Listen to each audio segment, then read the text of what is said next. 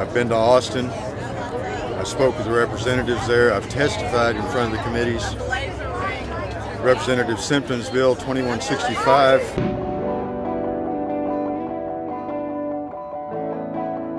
I was there until 1.30 in the morning testifying in open committee. After which Representative Simpson not only escorted me to his office to comfort me and give me a place to rest, he also gave me money to get a motel room so I wouldn't have to drive the six hours back home. It's that simple. My seven and eight year old daughters, they don't have a dad anymore.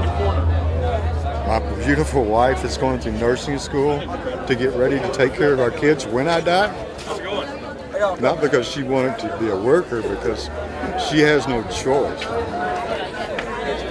This is what we live with. This is why it's so important to me. 22 veterans a day are killing themselves. And if this could help them, and I think it has, give them some relief and from paranoia and other things, I think that is a good thing. Everything that young people need to be doing to become productive members of society can be derailed by a small drug conviction. It is a medicine. People need medicine to live. You know, in my opinion, I don't think they really want a cure for cancer because I feel like if they keep us sick, then they can keep making money off of it. Texas, you know, is the most the most important state for reforming these laws. We've got to do it here, and we've got to. It's it's got to be all of us. We've got to get involved to the point where we're going to make this. We're going to make this change. I mean, this is a plant. It's very important.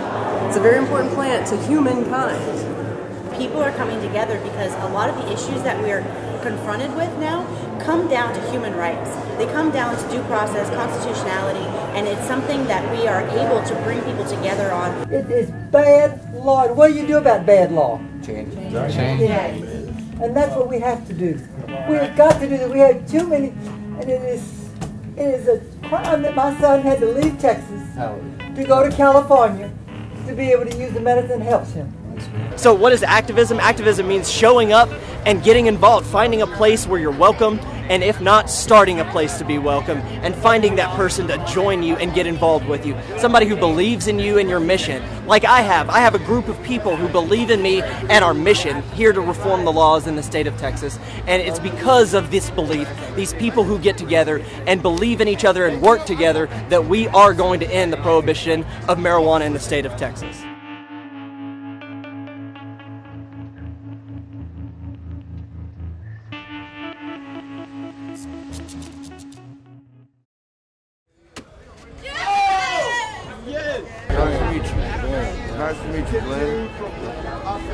So that's what's really unique about he- us here in Texas is it's a certain amount of civil disobedience that's going on, but really it's not so much civil disobedience as just getting together and being empowered and, and being with like-minded individuals who don't believe that you should be put in a cage for using this plant. What do you want to know? Okay, so why am, I, why am I doing this? Yeah, tell me about why you're doing this.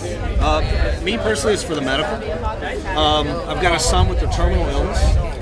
Called Niemann-Pick type C. Niemann-Pick, there's about 500 kids in the world that have this, and with that disease, there are intractable epilepsy, there's cataplexy, he's forgotten to swallow, he can't eat, everything's got to go through his G button. Anyway, he has um, upwards of 30 seizures a day, you know, and we took a little trip to Colorado.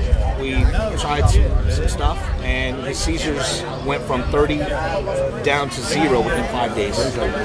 I've been prescribed over 50 medications since I was diagnosed. 50 different prescriptions. And the amount of money they've made off of me is over $500,000. Um, so it, it pisses me off. I mean, yeah, they're definitely getting richer by keeping it in prohibition. They don't they don't want us to smoke a plant that's natural that doesn't have to be processed because they're not going to make as much money off of it. It's all about money, all of it. What do we have? Like maybe 25, 50 people here tonight. At most, we'll have about 100. Well, our rallies, we have thousands. So three, four, five thousand people could show up to one of our rallies, and that right there is one of the biggest, best things that we can do as a culture is come out publicly. It's almost that time, isn't it, Fort Worth, Texas? Get ready, guys. Look, they're getting ready for us. We're, kind we're shutting down the streets. This thing's about to happen, guys. To kick this thing off right, I would like to introduce one of the most tremendous marijuana activists in the state of Texas. Come on. This man inspires me to inspire you, to inspire everyone you know. Please welcome Vincent Lopez of Texas NORML. Vincent Lopez! It is of vital importance that we all come together in mass and show our faces, our numbers, our tremendous sense of compassion, and bring it into full view. Let us be mindful of the enduring presence we have made throughout this eventful time in our state's history and continue to keep this massive momentum moving forward. There is no better moderator of our own bodies than ourselves. And if there is an answer in cannabis, then I shall not stay silent. For how I choose to alleviate the pains and symptoms of my own body is solely and completely up to me. It's up to us to plant the seed of not just thought, but the seed of reality and responsibility. It's up to us to make our Texas lawmakers understand that they can alleviate the suffering of many Texans. We shall always remember that incarceration can come in many different forms. Incarceration can come by means of a chronic, debilitating condition, by means of fear, anxiety, abuse, war, by means of an addiction to prescription medications. Incarceration can come in the form of jail, sometimes not just for a violent offense, but for speaking out against injustice and oppression. The act of incarceration has been going on for age upon age, since the dawn of time, since even biblical times. How do you do me, Texas? Texas, this is a monumental day. The fact that we can come out together and be doing this and, and, and be safe and be respectful and be passionate cannabis consumers, enthusiasts, law reformers, and we're working in tandem with the city. We're working with conservative Fort Worth. We're working with the Fort Worth Police Department. And we're in Texas where marijuana is completely illegal. Who's confused yet? Imagine a policy that criminalizes so many innocent people. All of a sudden, we could just change that. Wouldn't that be great for this state? Hell yeah! Wouldn't it be great to put fewer people into cages for non-violent crimes? We are denying our most in need, our sickest patients in this state a plant that could save their lives. Here, I've been battling stage three aggressive invasive breast cancer. My doctor says I likely had it for eight to ten years. That means that I got cancer in my breast when I was 20 years old. It, it's young, isn't it? It's crazy, but it can happen to anybody. I went through nine months of chemotherapy. I was sicker than a dog, but the only thing that helped me get through it was cannabis. We hear a lot about medical, we hear a lot about the law, we hear a lot about bills and everything like that. And I'm going to tell you right now, we are closer now than we have ever been to the relaxation of marijuana laws in Texas. Medical, hell yes. Let's get that in there because it's a little more urgent. But you know what? How much is freedom worth? How much is dignity worth? I defend people all the time, and I can't tell you the people that come in my office and they now have a criminal record. They're 35 years old, for God's sakes. And it's because they were caught with two grams of marijuana. I keep making the trips to Austin, and I keep talking to the legislators, going to their office, making them sit down and hear my story, letting them feel the fistula in my arm, feel the blood flow from my heart, and letting them know how fragile that is. I don't know how long I'm going to last. Maybe I will see legalization, maybe I won't.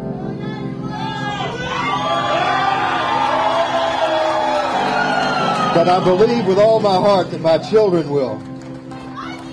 And the benefits that I can't receive from pharmaceutical remedies, they will be able to receive from cannabis. Responsible use of cannabis is coming to Texas.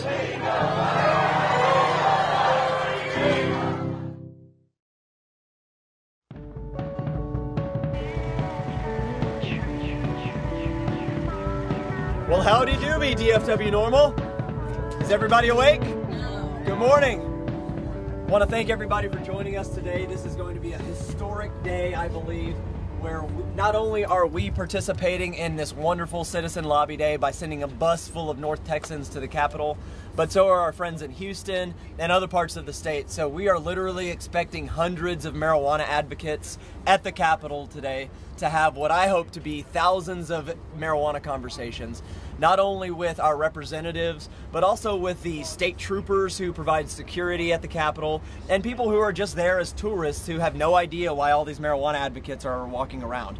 Uh, remember that we are representing not only ourselves and our organization, but our movement and our culture. So let's do our best to put our best foot forward. Let's try to be polite and respectful. If we have questions, don't hesitate to ask them, but let's not just wander aimlessly. Let's be very, very focused. And if you're not sure where you're supposed to go or what you're supposed to do, come find me or come find somebody who looks like they may know what's going on, and I promise you we'll get it figured out. So, does anybody have any questions right now before we take off? No questions. Nobody's asking where to weed at. Hmm. Nobody?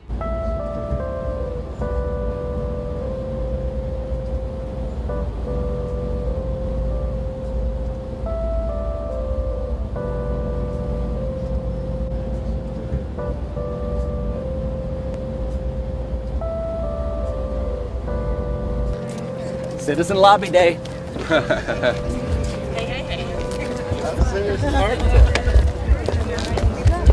So, do you Yeah, think so- faster that way? Well, either way, I mean, because you still have to get to the other side of the, ca- the building. Right, okay. So yeah, just uh, once you get to the other side at the light, it's get cross over, and it's gonna be that big building right there. Okay. Thanks for coming, guys. Well, hello. Hey, Shaun, how are you? So good to see you. Good to see you too. Thanks for bringing us. Yeah, yeah. Brought a posse with me from Dallas. Got to do this upright.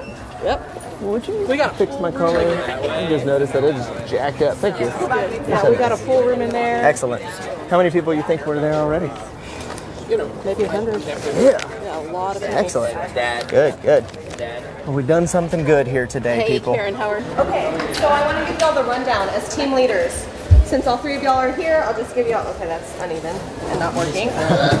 Sorry. Okay, so I'll start with Shaun's as an example. Okay. So Shaun, inside, you'll find a sheet that says number 10. You'll hold up number 10. Everyone from that Senate district will come and find you. the team leader for Team 10, which is means I'm the leader for District 10. And so everybody in this district is going to come with me, and we've got some pre-arranged meetings, uh, a route that we're going to follow, a map with all of our rooms highlighted that we're going to visit, and we're going to, uh, like I said, break into teams and hit each one of our districts, each one of our representatives and state senator, and uh, try to change their minds about medical marijuana. You're, it's easy to find a bunch of marijuana fans in Texas, but it's harder to find the ones who are actually going to come out and, to the Capitol. know, and that's what I figured. And you know, I've never lived in a state before where you can't petition either. The right to referendum. Most Texans don't even know we don't have that. The right to referendum means that the citizens have the right to petition their government, uh, you know, put some things on paper, get a whole bunch of signatures, and bring it to their legislature. We don't have that in the state of Texas. So all changes in law have to pass through what we call the Good Old Boys Club, otherwise known in the Texas le- legislature. Excuse me. Our first meeting is with Tony Tinderholt at 1 o'clock. Anybody here a patient? Patient what? Medical patient. Okay, so great, great. All right, so you're definitely coming. Military. Oh, and military. Oh, you're definitely coming in because he's a veteran too. Okay, so what we want to do is have three, four, five of us at the most coming in. Okay, and the rest we're all going to go in and sign the book after the fact. Okay, does that make sense? Jason, you're going to come in, right? Okay. All right, cool. Well, so everybody's well able to come in and sign the little sheet right up here. Okay. Should we wait till you come out? After y'all come back out. Uh, yeah, yeah, we could do that after we come back out. Yeah, and so, what? No, don't bring the camera in. Yeah, and actually, will you turn my mic off here? Thanks.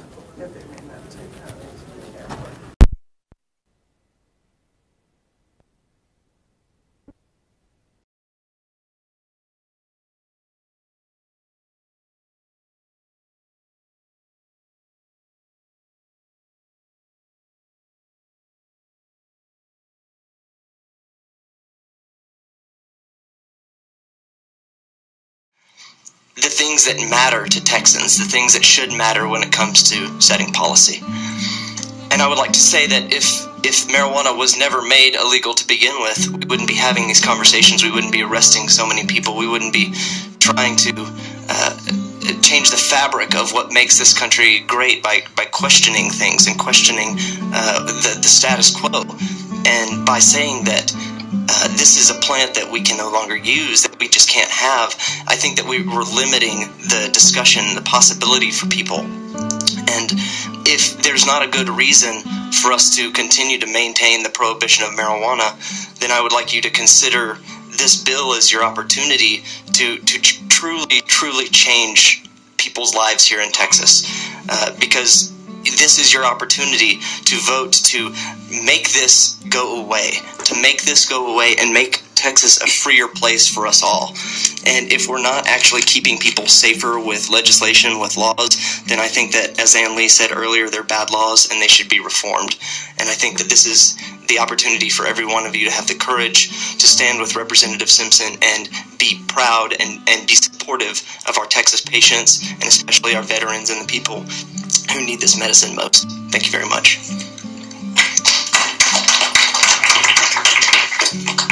Thank you all. Uh, members, are there any questions of our panel? No. Thank you.